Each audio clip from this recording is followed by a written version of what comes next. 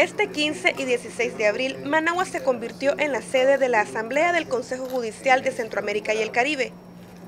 En el encuentro de magistrados, la presidencia pro tempore fue traspasada a la magistrada Albaluz Ramos, presidenta de la Corte Suprema de Justicia de Nicaragua, quien la entregará en el 2016. El evento tiene como propósito continuar con la homologación de las leyes a nivel regional, principalmente en materia penal, para poder enfrentar el crimen organizado en sus distintas expresiones.